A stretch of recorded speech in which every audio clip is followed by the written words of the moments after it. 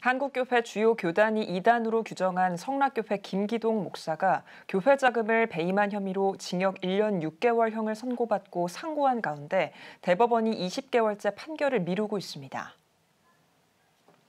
이에 성락교회 교회개혁협의회 측 500여 명의 교인들이 17일 대법원 앞에 모여 김기동 목사의 혐의에 대해 판결을 촉구하는 집회를 진행했습니다. 종교 사기꾼 김기동을 엄벌하라란 피켓을 들고 침묵 시위에 나선 교인들은 성락교회가 6년째 이어지고 있는 분열 사태를 끝내고 건강한 교회로 거듭날 수 있도록 신속한 판결을 내려줄 것을 호소했습니다.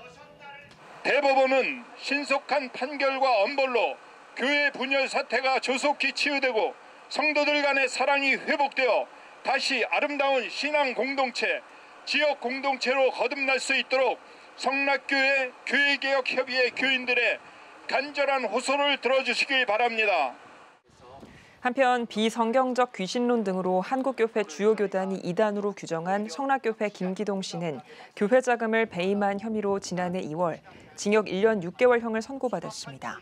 김 목사가 대법원에 상고한 후 20개월째 재판은 열리지 않고 있습니다.